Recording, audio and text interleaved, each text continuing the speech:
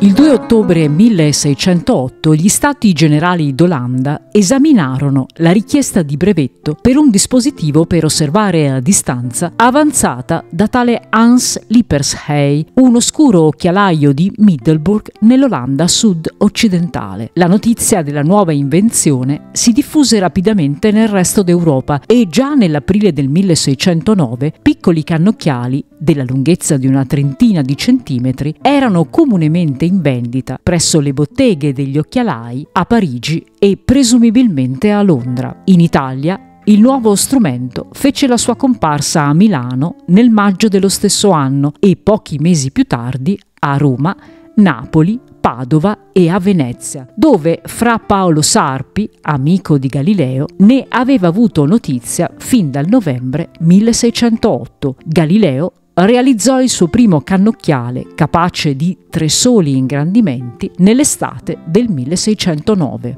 Galileo ha avuto notizia che in Olanda è stato creato un occhiale che permette di vedere ingranditi gli oggetti lontani. Se ne fa mandare uno e lo perfeziona, pur non conoscendo in dettaglio le leggi dell'ottica. Costruisce lui le lenti e costruisce in particolare due tipologie di lenti, una lente piano convessa e una lente piano concava partendo da dischi di vetro piatti.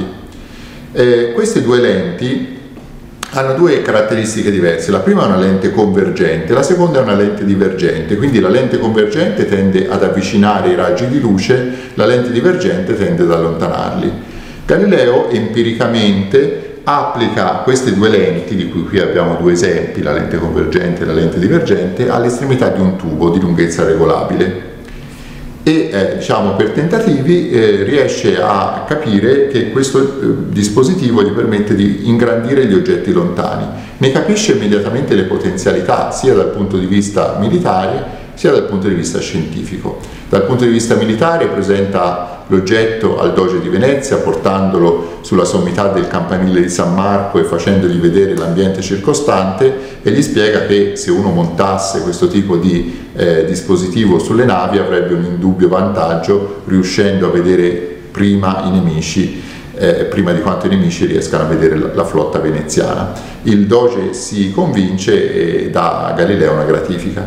Però poi la cosa importante è che Galileo capisce anche l'importanza scientifica di questo strumento, punta il suo cannocchiale verso il cielo e fa scoperte sensazionali per la storia dell'astronomia. In novembre Galileo disponeva di un cannocchiale capace di ben 20 ingrandimenti, cioè di gran lunga più potente di tutti quelli all'epoca circolanti in Europa, i quali utilizzavano comuni lenti da occhiali di bassa qualità. Gli strumenti approntati da Galileo avevano prestazioni nettamente superiori al cannocchiale, ad esempio da sei ingrandimenti, col quale l'inglese Thomas Harriot aveva eseguito nel luglio del 1609 osservazioni e disegni della superficie lunare. Grazie alla potenza del suo strumento, Galileo ottenne risultati straordinari nelle osservazioni della Luna.